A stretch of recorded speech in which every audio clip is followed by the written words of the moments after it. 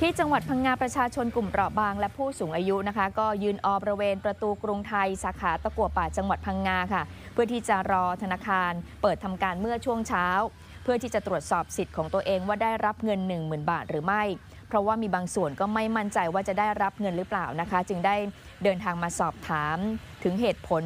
ทำไมสิทธิ์ของตัวเองถึงตกหล่น หรือถ้าจะได้รับนั้นจะได้รับในวันไหนนะคะ เนื่องจากข้อมูลการรับเงิน 10,000 บาทของรัฐบาลที่ออกมาผ่านสื่อต่างๆ นั้น ยังไม่มีความชัดเจนก็ทำให้ประชาชนนั้นเกิดความสับสนค่ะ